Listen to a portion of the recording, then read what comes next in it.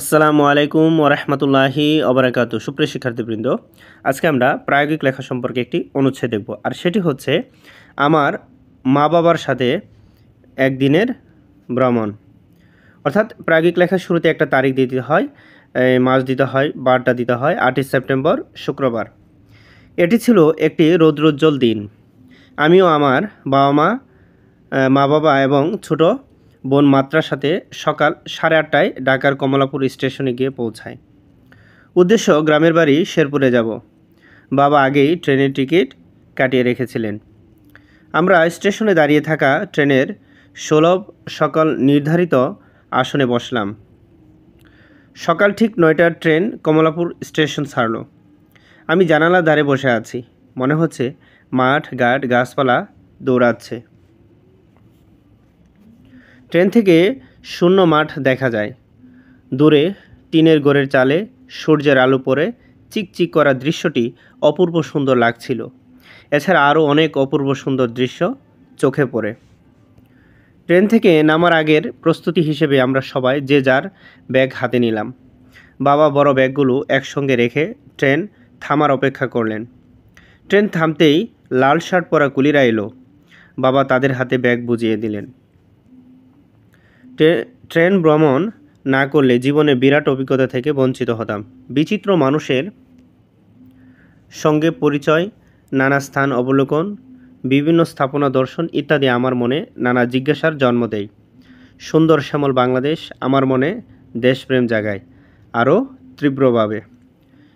ট্রেনে ভ্রমণের এই ষাটটি ঘণ্টা আমার কাছে যেন সাত জনমের অভিজ্ঞতার খণ্ডরূপ।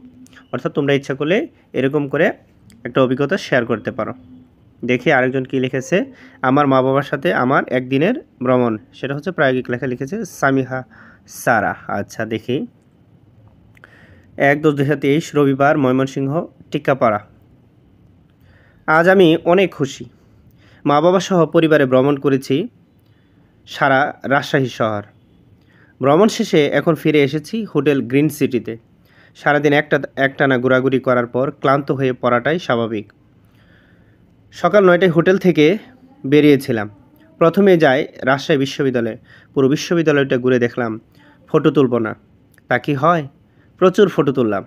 অবশ্য ফটোগ্রাফি করেছিল আমার আব্বু। তাই একটা ফটোও ভালো হয়নি। আম্মুও দেখি ফটোতে অংশগ্রহণ করল। একটু অবাক হয়েছিলাম, কারণ সে কখনো ফটো তোলে না। তারপর আমরা চলে গেলাম পদ্মার পাড়ে। সেখানে এক অপরূপ দৃশ্য।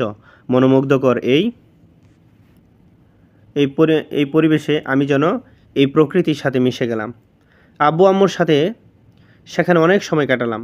তারপর গেলাম বঙ্গবন্ধু হাইটেক পার্কে। সেখানেও ফটো তুললাম প্রচুর। তারপর হোটেলে ফিরে আসার উদ্দেশ্যে রওনা দিলাম। যাওয়ার সময় লক্ষ্য না করলেও হোটেলে ফেরার পথে ঐতিহ্যবাহী এই রাজশাহী শহরের রাস্তার সৌন্দর্য চোখে পড়ল আমার। রাস্তায় কোনো ময়লা নেই। রাস্তার দুপাশে ছিল অটো লগিক কন্ট্রোলারের মাধ্যমে চালিত বাতি। বাতিগুলো যেন রাস্তার সৌন্দর্য আরও বৃদ্ধি করেছে। হোটেলে আসতেই যাচ্ছিলাম।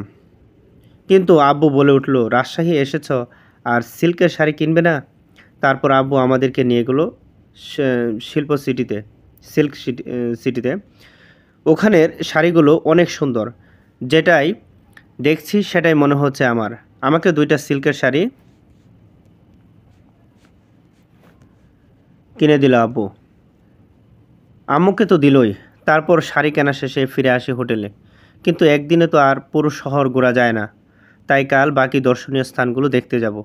তবে আজকে ভ্রমণের কথা আমার স্মৃতির পাতায় চিরকাল স্মরণীয় হয়ে থাকবে, কারণ এটাই ছিল মা বাবাকে সঙ্গে নিয়ে আমার সেরা ভ্রমণ। তোমরা ইচ্ছা করলে এইভাবে লিখতে পারো। আচ্ছা দেখি তারপরে আরেকটা আমার মা বাবার সাথে আমার একদিনের ভ্রমণ। আচ্ছা সময়টা দু হাজার পনেরো। আমি তখন নার্সারিতে পড়ি। নতুন নতুন সব শিখছি, জানছি। ফেব্রুয়ারির দিকে যখন স্কুল থেকে শিক্ষা সফরে যাওয়া হয়, তখন বাবা অসুস্থ থাকার কারণে যেতে পারেনি। তাই আমার খুব মন খারাপ হয়। বাবা সাত দিনের মধ্যেই সুস্থ হয়ে যায়। তখন বাবা সিদ্ধান্ত নেয়, আমাদের নিয়ে সুন্দরবনে বেড়াতে যাবে। আমি খুব খুশি হই। ভোর পাঁচটায় রওনা দেই। ময়মনসিংহ থেকে ট্রেনে করে ঢাকা যায়। ঢাকা থেকে তারপর ট্রেনে খুলনা যায়। পথে খুব পথে খুব ক্ষুধা পেয়েছিল। তাই আমরা সাথে আনা খাবার খেয়েছিলাম। আমরা পরের- দিন ভোর পাঁচটায় সুন্দরবনে পৌঁছাই। আমরা একটা হোটেল ভাড়া করি। তারপর আমরা ভুনা খিচুড়ি খেলাম। সকাল নয়টার দিকে বন দেখতে বের হলাম। আমাদের সাথে একজন ট্যুরিস্ট গাইডও ছিল। আমরা বনের চিত্রাহরিণ, নানা রঙের পড়শি পাখি, সাপ, বানর ইত্যাদি দেখলাম। বাবা খুব শৌখিন, তাই অনেক ছবি তুললো এগুলোর। বিকেলে আমরা নদী দিয়ে বেড়াতে গিয়েছিলাম। আমরা একটা নৌকা ভাড়া করেছিলাম, প্রায় এক ঘণ্টা নৌকা দিয়ে ঘুরলাম। নদীতে কুমিরও কুমিরও সাপ দেখলাম, যেটা দেখার জন্য মূলত আসা। সেই রয়্যাল বেঙ্গল টাইগার দেখতে পেলাম না। রাতে হোটেলে ফিরে এলাম। পরের দিন সকালে সুন্দরবনকে বিদায় দিয়ে বাসার উদ্দেশ্যে রওনা দিলাম।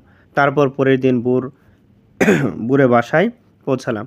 আমি এরকম অভিজ্ঞতা কখনো ভুলতে পারব না।